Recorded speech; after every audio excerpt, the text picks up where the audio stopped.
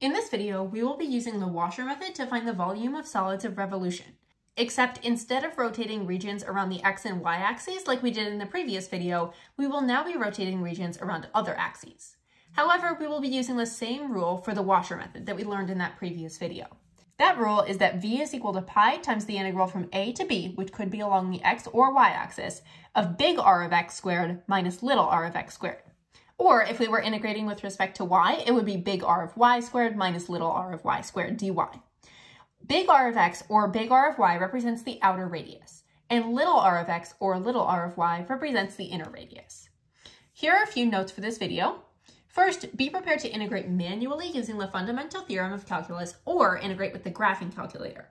You will see both of these pop up in this video and on the AP exam. Second is that washer method problems in which a region is revolved around a horizontal line occur much more often on free response questions than washer method problems where you have the region being revolved around a vertical line. Let f and g be the functions given by f of x is equal to e to the x and g of x is equal to the natural log of x. Find the volume of the solid generated when the region enclosed by the graphs of f and g between x is equal to 1 half and x is equal to 1 is revolved about the line y is equal to 4. The first step for this is going to be to sketch out these curves. So that's what I'm going to do. For e to the x, one point that I know is going to be on the graph is the point 0, comma 1, because e to the power of 0 is equal to 1. So if this is my e to the x curve, the rest of it is just going to look something like that. And the curve for the natural log function is going to look something like this. Now, if you wanted to see what those graphs look like on the graphing calculator, you could do that because this is a calculator problem. So you could just plug those functions in and then see what they look like. Now it says find the volume of the solid generated when the region enclosed by the graphs of f and g between x is equal to 1 half and x is equal to 1. So now I'm going to mark on my graph. I'm going to say this is going to be x is equal to 1 half, and then this right here is going to be x is equal to 1. So this region right here, this is the region that we are dealing with and it says we need to find the volume generated when it's revolved about the line y is equal to 4. So let me sketch in the line y is equal to 4. That's going to be up here. So envision that we are taking this solid and we are revolving it around the line y is equal to 4. I'm going to sketch in my inner radius and my outer radius. The outer radius will extend from y is equal to 4 all the way down to that bottom curve, and the inner radius will extend from there to right there. And then I'm also going to label these graphs. This one is f of x, which is equal to e to the x, and this one right here is g of x, which is equal to the natural log of x. Now I'm going to come up with my expressions for big R of x and little r of x. So big R of x, big R of x is going to be this one. So we take the top curve, which is y is equal to 4, and then we subtract the bottom curve, which in this case is equal to the natural log of x. So big R of x is 4 minus the natural log of x, little r of x is going to be 4, the top curve, minus e to the x, the bottom curve. So 4 minus e to the x for little r of x. Now I come up with the volume integral. And I'm looking from x is equal to 1 half to x is equal to 1. So from 0.5 to 1, and then I need to stick the pi on there as well. Pi times the integral from 0.5 to 1 of big R of x squared, so 4 minus the natural log of x squared, minus little r of x squared, 4 minus e to the x squared. Close the brackets and stick a dx on the end. Then just grab the graphing calculator and plug that integral in. Make sure that you're using an appropriate amount of parentheses for these problems. When you do that, you get that the volume is equal to 23.609. Let R be the shaded region bounded by the graphs of y is equal to rad x and y is equal to e to the power of negative 3x and the vertical line x is equal to 1, as shown in the figure above. Find the volume of the solid generated when R is revolved about the horizontal line y is equal to 1. So for the horizontal line y is equal to 1, that's going to be this line right up here. I'm just going to label that one as y is equal to 1. Now, if we're revolving it about a horizontal line, that means that we're going to be doing top curve minus bottom curve somewhere. So when I come up with my inner and my outer radius, my outer radius is going to stretch from y is equal to 1 to this bottom curve down here. And then my inner radius will stretch from y is equal to 1 to this curve. So when I find big R of x, the outer radius, that will be controlled by 1 minus this curve. So 1 minus, and then this one is going to be y is equal to 3e to the power of negative x, because I know that y is equal to rad x has that shape. So 1 minus e to the power of negative 3x. Then I need to find little r of x, or the inner radius, which will be 1 minus rad x. So 1 minus rad x inside there. Then I come up with the integral for the volume.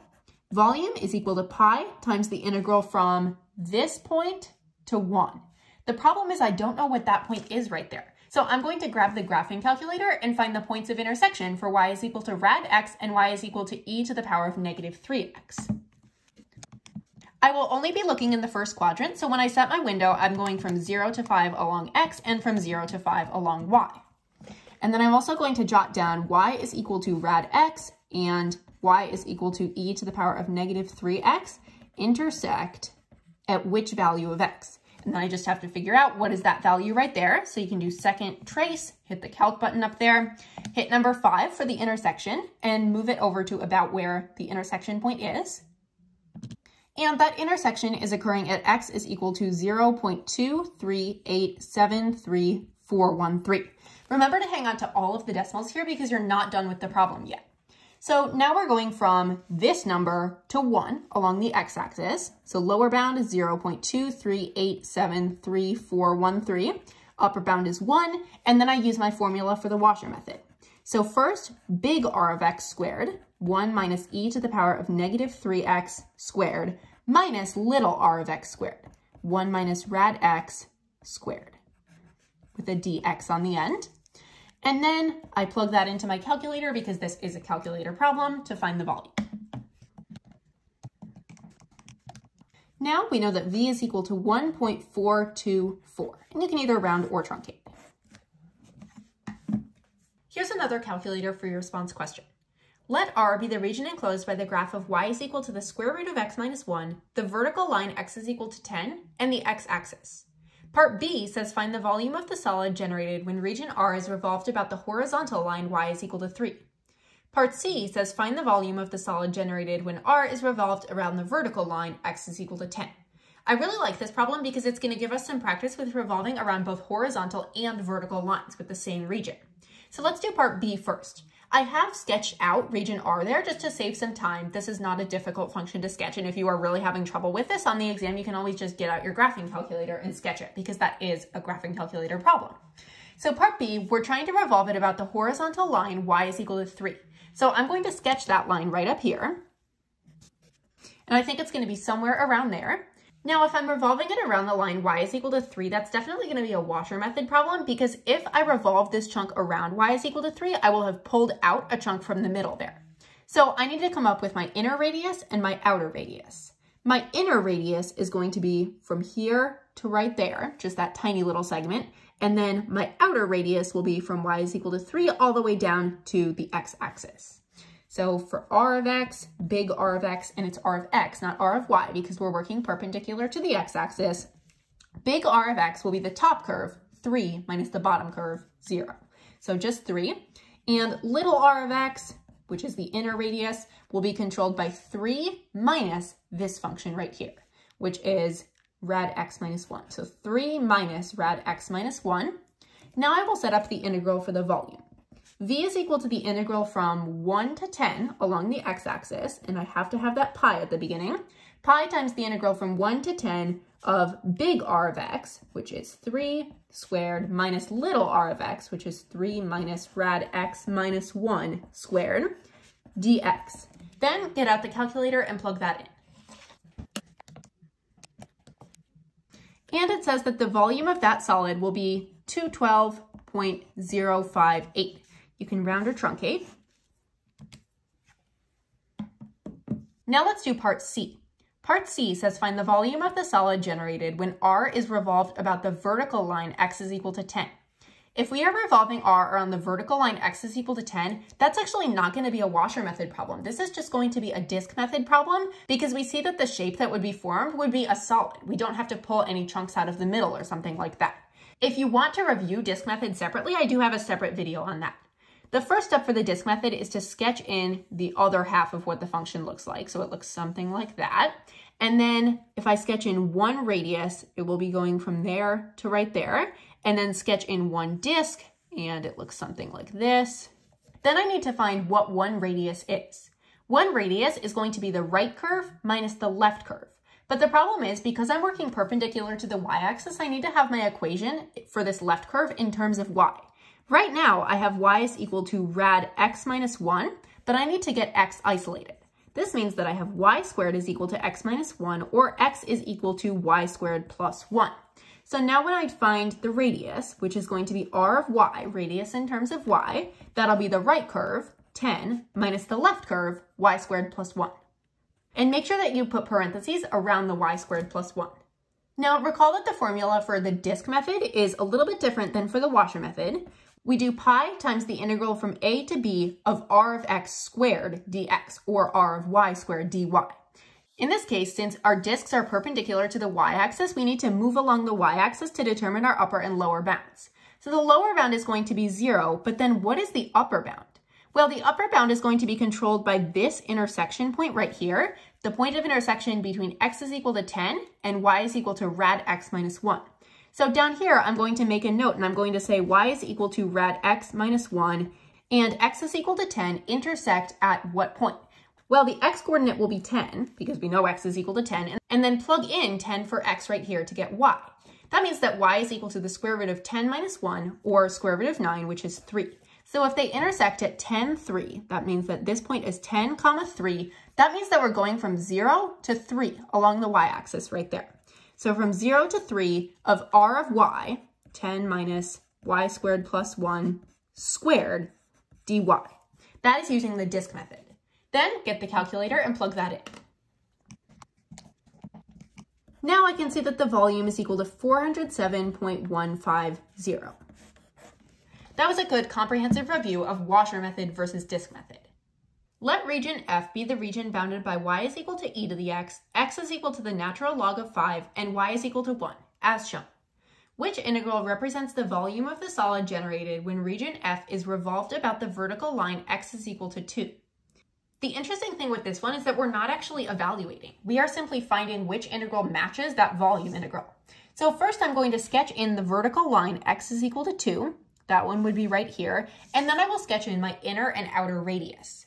My outer radius will be going from here to here, and my inner radius will be going from right here to right here. Now, I know that this vertical line right here is x is equal to ln of 5, or the natural log of 5, and this vertical line right here is x is equal to 2. So when I come up with my expressions for big R of y and little r of y, and it's y, not x, because we're working perpendicular to the y-axis, this means that I need to have this equation in terms of y also. So if I have y is equal to e to the x, y is equal to e to the x can be written as x is equal to the natural log of y if we're trying to get that equation in terms of y. So now when I do big R of y, that will be 2 minus the natural log of y, which is this curve right here, 2 minus natural log of y, and then my inner radius will be 2 minus natural log of 5, because that's x is equal to natural log of 5, 2 minus natural log of 5. Now I just need to write the integral for the volume. So volume will be pi times the integral from, well, we know this is going to be 1, so from 1 to, but then what is this point right up here? I'm going to calculate this point by taking the equation y is equal to e to the x and the intersecting line, which is x is equal to the natural log of 5. If I say y is equal to e to the power of the natural log of 5, that's just 5 because the e and the natural log cancel. Therefore, this intersection point is up at y is equal to 5. So we're going from 1 to 5.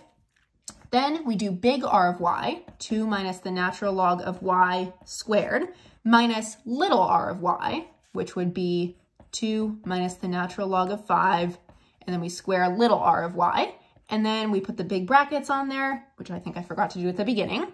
Then we stick a dy on the end. This matches answer choice A. Therefore, A is the correct answer. Let R be the region in the first quadrant bounded by the graphs of y is equal to rad x and y is equal to x over 3. Find the volume of the solid generated when R is rotated about the vertical line x is equal to negative 1.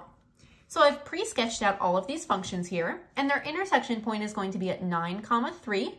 This entire region R is being rotated about the vertical line x is equal to negative 1. So this should indicate to you that this is a washer method problem because there would be a chunk that we would have to pull out of this solid in order to get the desired three-dimensional shape.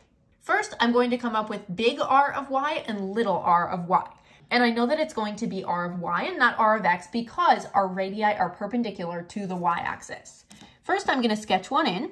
So big R of y would be extending from the right curve all the way over to the axis of revolution. So from this line, y is equal to x over 3 to x is equal to negative 1. And then little r of y, the inner radius, extends from this line to x is equal to negative 1. The problem is though, when I'm writing down r of y and little r of y, the problem is that these equations here are in terms of x and they need to be in terms of y so that I can plug them in here. Therefore, I need to isolate x in each equation. For this one, x would be equal to 3y, and for this one, x would be equal to y squared.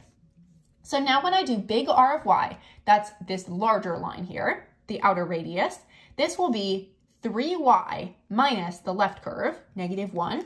So 3y minus negative 1. Little r of y, the inner radius, will be y squared minus negative 1. And if you want, you can rewrite those as 3y plus 1 and y squared plus 1. Now I will develop the volume integral. So volume will be pi times the integral from 0 to 3 along the y-axis there because we're working perpendicular to the y-axis and then on the inside, we do big R of y squared, so 3y plus 1 squared, minus little r of y squared, which is y squared plus 1 squared, with a dy at the end. Then just grab the graphing calculator and plug that in. Remember, it's okay to use x's instead of y's in the graphing calculator as long as you're keeping it consistent because the graphing calculator doesn't care what variable you use.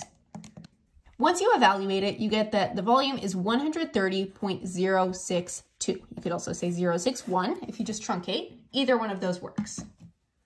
What is the volume of the solid generated when the region bounded by y is equal to x squared minus 1 and the y-axis is revolved about the horizontal line y is equal to 3?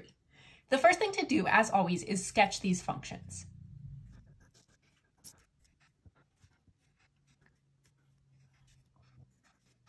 Okay, so here's my sketch. The parabola is the line y is equal to x squared minus 1, and then the bounded region is between that function and the y-axis, so it's that tiny shaded region, and we are revolving it around the horizontal line y is equal to 3.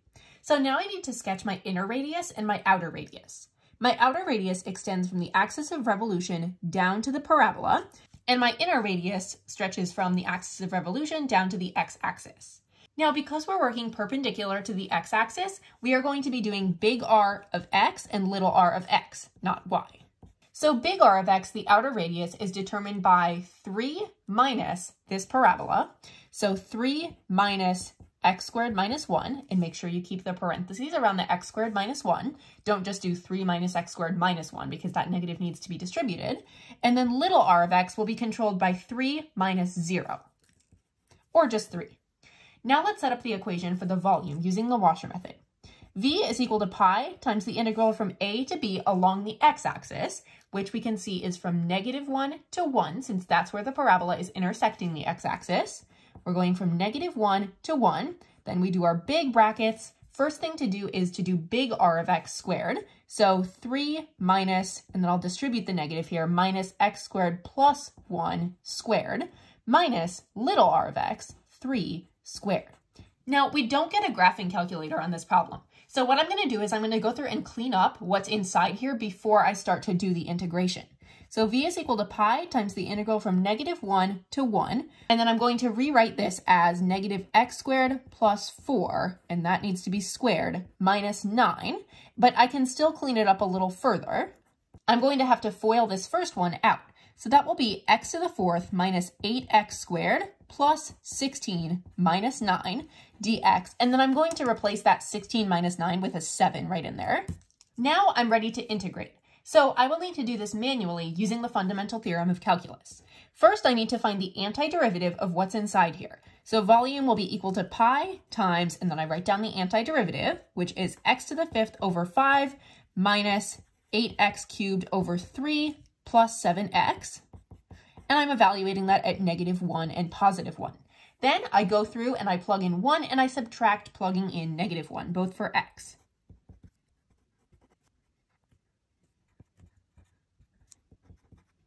Now the issue here is that I can't subtract these fractions or I can't even add them until they all have like denominators. I'm going to get them all with a denominator of 15. So I can rewrite this as pi times, and then if my new denominator is 15, that means that my new numerator needs to be 6, 6 fifteenths minus, and then I have to switch 16 thirds over to have a denominator of 15. So I multiplied that by 5, so 16 times 5, I get 80 in my numerator. And then 14 times 15 is 210, so then I have 210 over 15. Then when you simplify that, you get 136 pi over 15. Therefore, C is the correct answer.